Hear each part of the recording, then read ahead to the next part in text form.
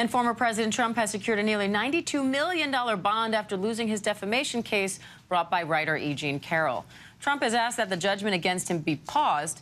Now, the judge has ordered Carroll's attorneys to respond to that request by today and says if Carroll opposes the arrangements, he will hear arguments this afternoon.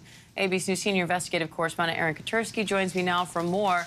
Aaron, what do we know about how Trump secured this bond? Not much. We know that it was arranged by a subsidiary of the insurance giant Chubb, so the money is going to be there if Trump loses his appeal.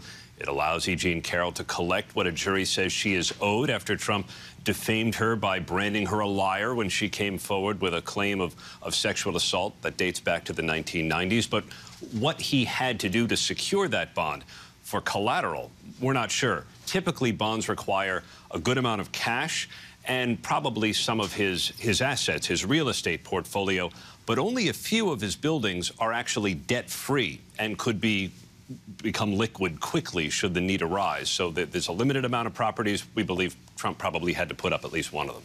What are the next steps as Trump moves forward with this appeal now? So he'll have to actually file his appeal. He's filed notice of appeal, but his attorneys will have to lay out the reasons why they believe that the judgment was faulty. And they're going to say that uh, the judge made some errors, that uh, the, the, the law wasn't properly applied, the jury may have been confused, but they're going to lay all that out. And then there'll be a schedule for, for appellate court to hear it, uh, and it'll wind its way perhaps all the way to the Supreme Court should he lose the appeal in the circuit. Now, over the weekend, Trump again claimed these were false accusations made by a woman he knew nothing about. Now, he's already been found liable for the sexual assault and for defamation against Carroll in denying it. So could he face another defamation claim for that comment? He sure could, because the, uh, the, the E. Jean Carroll's attorneys have said there was no guarantee that Trump was going to stop, and they left open the possibility right after the, the jury award in January that Trump would defame her again, and they could bring another claim. Her attorneys haven't said whether they would, but Trump did appear to repeat the defamation in those comments on Saturday.